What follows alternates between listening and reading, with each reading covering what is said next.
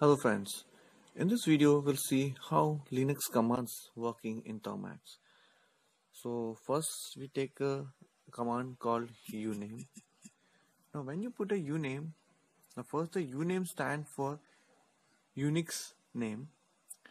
When you type uname without parameter, it will show you the name of your operating system. As we all we know, Termux working on Linux, so it's give you the output Linux. Now next command we'll see uptime. Now this command return the information about how long your system has been working together with the current time. Then it shows you the number of user and running session and the system load average for the past 1 minute, 5 minutes and 15 minutes. This is what exactly it's shown. Now next we take a command called real path.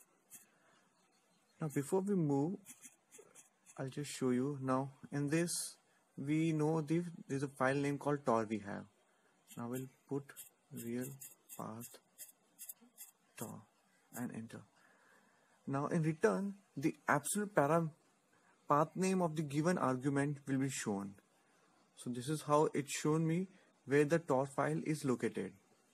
And can show you this one. Now if you see I'm in home and if I put list it show me that in home I have the tor this is what exactly the I'll get the output when I use this real path tor okay now next command we'll see man.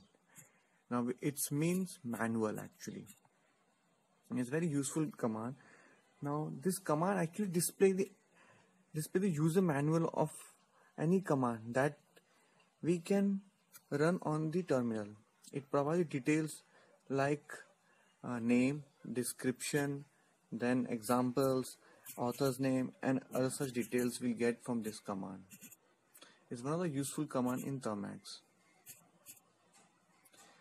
And in the last uh, we'll see history.